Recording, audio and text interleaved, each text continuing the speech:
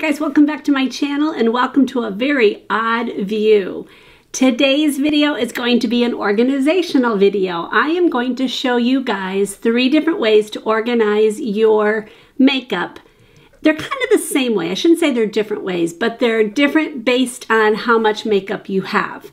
So if that interests you, stick around and let's get into the video. In the first way we're going to organize, it's going to be the most makeup, and that would be what I have. And I would not even say I have a huge amount of makeup. I have, for a YouTuber, I have pretty small amount because I just don't have the room to carry a whole bunch of makeup. But for the most part, most people do not carry this amount of makeup, except my daughter. She carries a huge amount of makeup. But, oh, my hair. Can you tell? I'm trying to figure out curling it. Do you guys like this? Let me know if you like it. I do like it, but it does this and it gets in my way. And then I do this and uh, I don't know. We'll see. I'm trying some new styles and I might just end up doing that to get it out of my face because I hate it in my face. Okay, I totally digressed. So we're going to start with the largest amount of makeup and then we're going to go to a person who has a medium amount of makeup, just like a couple drawers full, and then a minimal makeup. Very little would just, most people probably have this. So, all right, let's get into it. I'm going to show you my philosophy, and it's kind of a new philosophy. I've tried it for a while now, and I love this concept. And I'm sure this is not new. I'm sure you can find people who have organized their makeup in this way, but it has really transformed how fast I can do my makeup. What you want to do is organize it in the order that you put your makeup on. And so you just either work down the drawers or work down the line. So I'm going to show you what I do first and work my way around basically my face. Okay, I thought I would step back just so you guys can see my setup from a farther away from a farther from farther away. Oh my goodness. Obviously most people would not have a ring light and things like that. But first of all, let me show you, I have just a desk from Ikea. Those These are not the Alex drawers. I honestly don't remember the name. I'll have to show you. Over there are my empties. so that's on that side. And then over here is the Alex drawers. And most people would not have that but I have that, a lot of it because I'm a YouTuber, but it's not all makeup by any stretch. There's a lot of other stuff in there. But I'll show you my, my process. What I do is I start over here and I work my way down. The first one is actually this drawer. I pull it out and this is my primers. So all kinds of primers, all different types. The kind I'm using the most is in the front and I, you know, the ones that I've kind of given up on or I might be decluttering or in the back. These are all different kinds of eye primers. So that's all that kind of stuff. So this is entire drawer is different primers. So first thing that goes on my face, obviously this is after skincare. The next drawer will be foundations. Obviously that goes on after primers. So favorite foundations are in the front, well in the side, and actually they're all really some of my favorite foundations. There's some BB creams here. I love those, both of those. And then in the back, pull this out, are ones that I'm currently not using. Jerry's still out. I might declutter those. I don't know. And on the side is more like some ones that I don't know. I don't, I don't know if I like this. Do you guys like this one? I think it looks glittery on my face and I hate that. So not sure about that one. Okay, some BB cream. Some of these things I use only in the summer. And so I'm not currently using them. So they're in there, but all my foundations are in here except for two and I'll get to that in just a second. After foundations then we have concealers. So all my different concealers are all in here. You know, the ones I use the most and some of the ones that I'm currently not really using. After concealers, I do some setting. So my setting powders, I don't have a ton. I only have a couple. And those are all right there with my little poof, puff, whatever you call that. After I do my setting, I do my eyebrows. So the ones that I use the most are all in here. I love all of these products. in the back here, let me pull this out, are other things of eyebrow things that I've used, but I'm not currently using, but they're there if I need to get them. The next thing is eyes. Anything to do with eyes. You know me, I don't use a lot of eyeshadows, but apparently I have a lot. I don't know why. And then mascara. I'm trying this again. I kind of got away from using it. I used it this morning. I actually like it, so I'll see. But it's the only kind of mascaras that I'm using right now. So the next two drawers are not makeup. They're my backup drawer and some other stuff. But let me turn you around. Now I'm sitting at my desk and the next thing would be the first drawer. And hopefully this is light enough. Oh good, there it goes light enough. Next thing would be anything that I put around my face. So I have bronzers. I currently only have three bronzers. These are for kind of contouring or bronzers. And then these are my current blushes that I have. I'm really into these two right now. Under here is my setting sprays. So all the different kinds of setting sprays. You guys know from one of my last ones, I'm loving this Morphe. But I also love this CoverGirl Dewy Finish. Love that. And then the last drawer is lips because that would be the last thing that goes on my face. So pencils, I really don't have a lot. For some reason, I collect lip stuff. I don't know why. And I've even decluttered some of this. And I think I need to declutter more. But that would be my last thing that goes on my face and I'm done. Let me show you what's here on my tabletop. First of all, there's two foundations, and that's just because I'm trying them. I just got them. In case you're wondering, this mirror and lights, I did a video, oh, I don't know how long ago. It was Christmas, not this last one, but the one before that. My husband did this for me. This is all like pieced together. It's literally up there by Velcro. I know that Amaze is amazing, but it is. It's up there by Velcro. I could take this thing down and put it someplace else. So I'm loving this thing. But I should tell you, I will put that right here.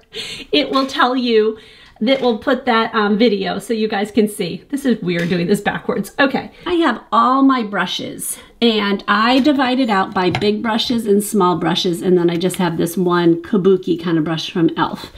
And it sits on a tray just to make it look a little bit prettier. I used to have it divided out where I only had my favorite ones, but I actually like being able to pick through. If one's dirty, I'll choose another one I don't know. Back here are those, the Q-tips that are made for makeup removal. I love these because how um, stiff they are. They're great. I've told you guys about them before.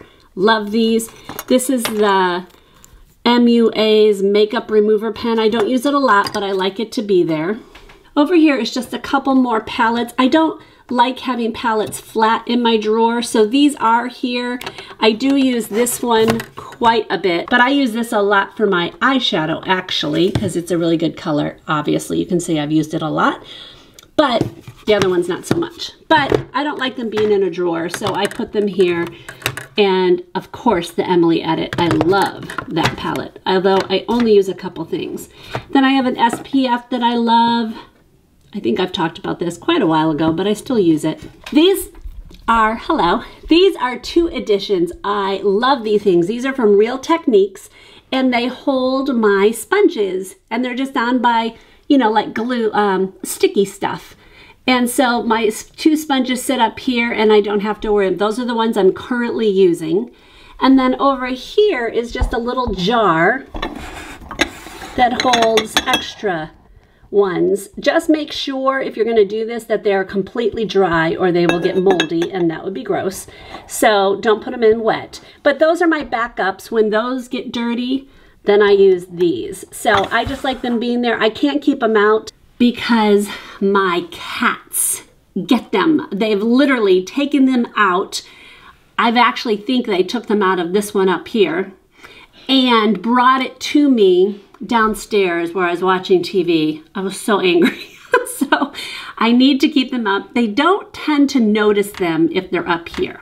As you can see, guys, what I did was I worked my way around, started over here, and then worked my way and did the drawers down there.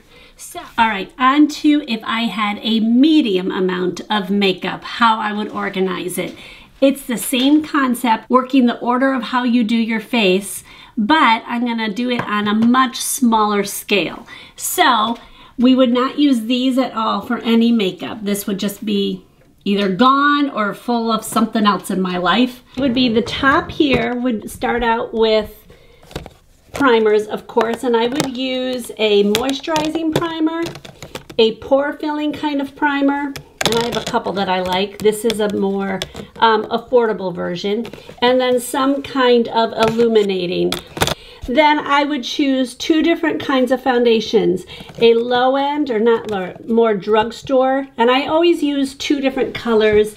You guys know this, I've said this a couple times in my videos. I use one that's the color of my skin, close to my skin, and one that's darker to cover up redness. And then I would have a higher end version, unless I absolutely love this. This is my absolute favorite. You guys know this, the CC cream. I love it. It's perfect for my dry skin, but it's higher end, and so I don't like to use it every day. This would be my choice for every day, and this is a Physicians Formula, the Healthy Foundation. Love this. So two of those. Then we would go to concealers.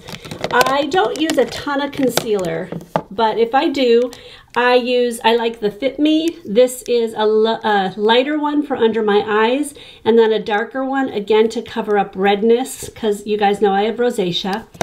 Then I also love this. This is the e.l.f. and in the peach. This covers up blueness or darkness underneath my eyes really well. Love this and it's so affordable. And then if I have a very distinct blemish or something that I need to get rid of, I like the NARS and then once I did my concealer, of course, I would set my makeup. You guys know I like the Laura Mercier for under my eyes. And I love the Becca Hydra Mist. Love this. And then I just have a poof. That would be for the face. The next drawer would be for my brows. After I did my brows, I would do my eyes if I was going to do eyeshadow. Sometimes I only use the paint pot. This is Camel Coat from MAC. Sometimes this is just all over my eye and that's all I do just to even out the skin color. Then I would go ahead and put on bronzer. So this is my favorite and obviously I need to get more. I have hit pan many, many times over. Then I would do blush. And if I'm to do cream, I'm to do these. I said that before, but then I would have other ones here. LA Girl, those things. So I would pare it down to that. And then the last drawer, I do have two palettes in here. It just wouldn't fit in here the right way because it needs to like lay flatter because the drawer is not that deep. So these two I would keep in here. Then I would hit my face with some setting spray. I would have a normal everyday one, and then I would have an illuminating one if I wanted it. After I set my makeup, sometimes I put mascara on first and then spray, and then I, you know, either or. It depends on if I remember. But I would do my, my eyes, mascara, then the last thing would be lipstick. And what I would do is pair, I have two different kinds. I know it looks like more, but it is really two different kinds. It's two that are not, that are like more everyday, and then one that's a little bit right, redder or more pink for like an evening look. And then these are lip glosses that go with the two. So Buxom is my absolute favorite. I love how those feel. And then lip liners to match it. I would pare this down to two of each kind. Again, this is the medium amount of makeup. Two of each kind. So two kinds of fluffy brushes. Two for putting um, like bronzer on or something like that. Two blush brushes, things like that. So that would be two of everything and two of everything here. Okay, on to if I was a minimalist and was just a typical person and had, you know, one, maybe two of things, this is what I would do to organize that kind of makeup. It would all fit in here. I, I, I assume. I have not done this amount of makeup in a long time, but everything would be in one drawer. My primer and then I would choose one foundation that I loved and just stick with it. I don't think I would have two. I would have, again, a hydrating primer and a pore filling primer. That's it. I would have concealer, one for blue and one for under my eyes, and then one just for blemishes. I would have one kind of bronzer, one blush, one powder, and I would choose this one if I was only choosing one. I would have one kind of eyeshadow, pal eyeshadow palette that would do it all. So this would be my choice. I would have the bare minimum for eyebrows. I would have a pencil to fill in. I love this tattoo one that gives you the little brow-like hairs on the center, you know, in the middle of my eyebrows, the beginning. And I would have some kind of powder to fill in when I needed, and then just one to hold it in. Let's just face it, when you're plus 50, you need some help with your eyebrows. You're gonna have more than one product. So this would hold them all in place. Just one mascara and a eyelash curler. And then lastly, I would have probably, I'd probably have a couple lipsticks. I would have a dark one and a light one. These are my light ones. I would probably have these in my purse, let's be honest. And it would all fit in one drawer. Up here, it would be one of each kind of brush that I would use. I would have the setting spray up here, just grab it and go. And then I would have my sponges here and that would be it. That's all I'd have. So guys, I hope that was helpful to you. If it was, please give me a thumbs up. It really does help my channel. And I will see you in the next video. God bless.